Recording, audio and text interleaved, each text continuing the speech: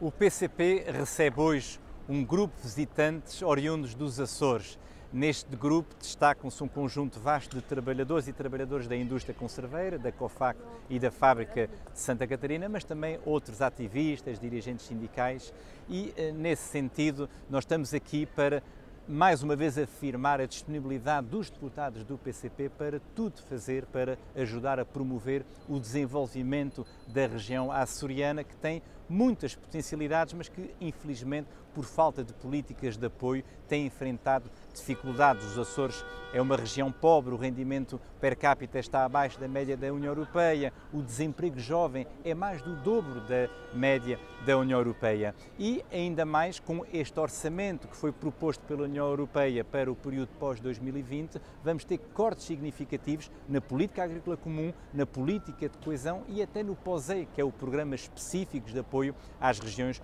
ultraperiféricas. E, portanto, a nossa postura é muito clara. Nós tudo iremos fazer e é isso que queremos transmitir aos açorianos para que, de facto, haja uma alteração das políticas que possam privilegiar estratégias de desenvolvimento adequadas às necessidades dos açorianos, porque os Açores têm potencialidades, têm futuro, necessitam naturalmente é de políticas corretas, bem desenhadas e naturalmente bem apoiadas por parte do Governo Nacional, do Governo Regional e também por maioria de razão da União Europeia.